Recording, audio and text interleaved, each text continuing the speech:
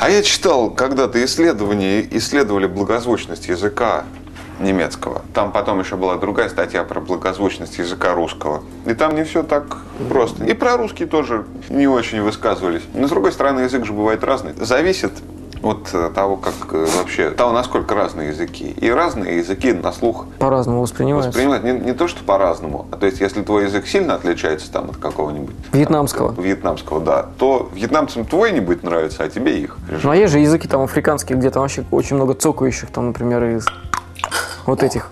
Вот насколько можно себе представить, что там вообще творится у инопланетян. Вот ты залез инопланетян.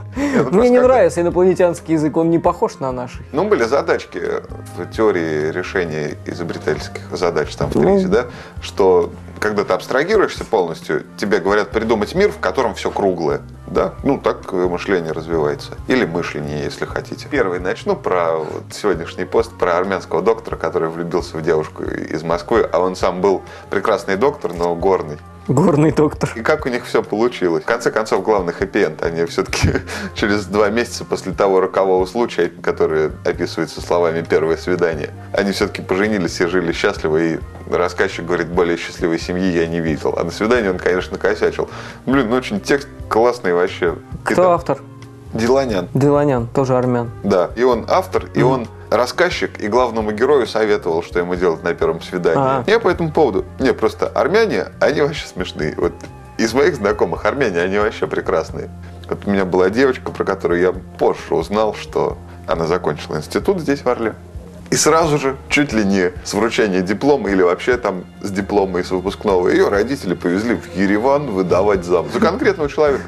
Ты можешь такое себе представить? Чтобы меня после э, окончания института мои родители увезли бы Ну, в Ереван выдавать сразу- замуж сразу сказали. за конкретного человека. Нет, не могу. На юге Москвы произошла массовая драка с применением... Из-за женщины.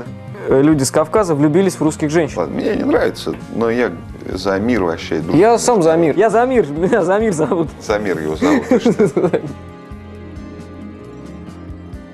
И, ну, мы дадим ссылку на этот рассказ, чтобы люди читали большие тексты. А, Я так понимаю, что вот этот тонкий кавказский юмор, который мы э, можем наблюдать, наверное, в фильме «Мимино», да, в, я- в я- в большом количестве. Примерно похоже, да? Мгм. Так что читайте рассказ этот, мы дадим ссылочку. Ну, вот сегодня, видишь, в в блогах попалась вот та история четырехлетней давности, когда дядька на... Да, я еще тогда оценил такой протест. А тут наш Владивостокский дядька тоже учинил протест. Вот ролик, про который мы вчера рассказывали с э, клерком, который... Этот рассказ не вошел в монтаж, кстати, поэтому не удивлен. Ролик, про который мы вчера рассказывали, про какой ролик? А, Мы вчера рассказывали про ролик вчерашний, который показывали и по НТВ даже, и ну на Рутюбе, естественно, он там в The Best висит, о том, как э, Владивостокский клерк, менеджер, устроил бесчинство и бунт. Бунт на корабле. Ну вот, а сегодня вспомнили жителя США, который на своем бронированном бульдозере который по разным версиям он готовил к поездке от двух месяцев до полутора лет. Вот он на нем причинил заводу, который ему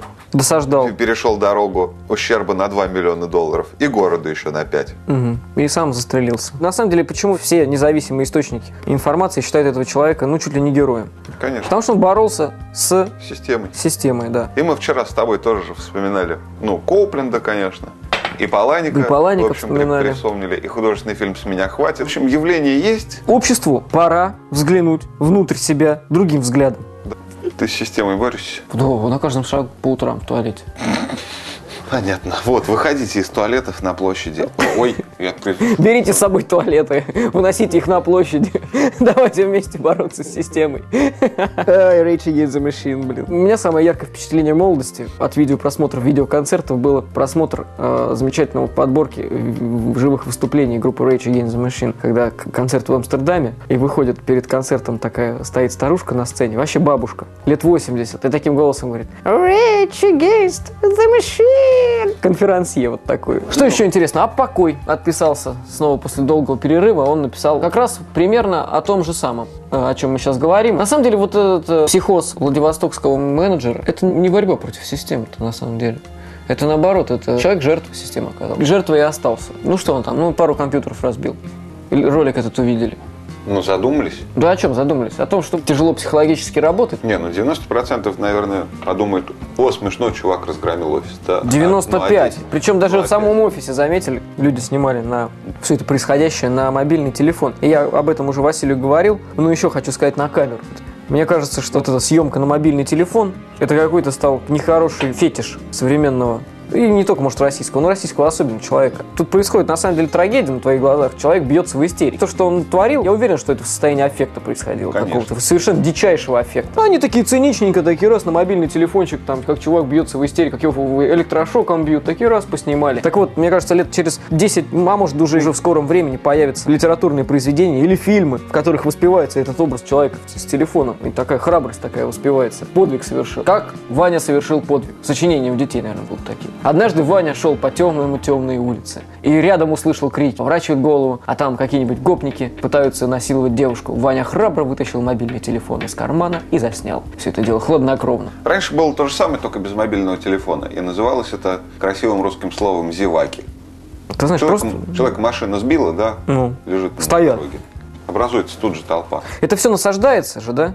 Ну, в том числе. Давайте, снимайте нам сюжеты про Да, при- самое страшное там кино, там самое страшное. Станьте слово. нашими репортерами, присылайте на наш э, на, на центральный канал, считай, на федеральный. Присылайте нам ваши чрезвычайные происшествия, которые вы увидели, снимайте. Джж-джж. Вот и ходят люди с телефонами. Что тут у нас? Ага. О, о, о. Вот это вот, знаешь, манием глобального подглядывания. Это знаешь, как Петру Ивасичкина. Я первую увидела, я первая заметила. Ты, Оля, просто вредина. Сама, Сама ты, ты, Оля, Оля, вредина. К нам едет хулиган. А хулиганы ездят к нам, как его Ален Робер. Тоже не помню, у меня с именами что-то так туго стало. Как у того армянина с тирамису. Там, там весь конфликт крутился вокруг тирамису. Он зазвал их в ресторан Артбридж, а, а он путал слова современные, особенно когда, ну, еще не знаешь. И он сказал, пойдемте в этот ресторан, здесь делают самый лучший в городе кунилингус. Я говорю, Ален Робер, по-моему, его зовут Человек-паук, такой, ну, не из кино. А, который Который ползает по- лазает, лазает, да, по небоскребу. По любым поверхностям. Да, ну, он уже приезжает, уже знают. Все, приехал, будем снимать его создание. А ты знаешь, он же по любым поверхностям как бы ползает, да? Ну да. Было бы вообще, наверное, смешно, если бы, если бы, знаешь, ты идешь, толпа зевак собралась, а он такой по земле ползет, такой! Перепутал. Ну, сполз, может, там, и как бы, а все равно же ощущение, что были уже, наверное, мышление или мышление. Уже в другой плоскости развит. Измерение систем координат совершенно другая. Для него вот эта вертикальная поверхность, это как бы, как для нас горизонтальная. Или наоборот. И поэтому он сполз такой, и такой через дорогу такой, Ну, или хренак, на, это, на Тверском, где-нибудь. На Кутузовском пробка, да? Через машины едущие такой. Такой попутался. Вот без попутал. А что взять с человека? Ну, паук. Живет он так. Ч- Чем он как бы хуже или лучше Маугли ванной такой? Ты ты его водой. Не смывай меня. И главное, он не агрессивный, он на женщин не нападет. Он ядовитый. На русский. Он только пау- паучихи у него. Ну тогда все. Так что э, читайте блоги, в них есть правда ведь много интересного.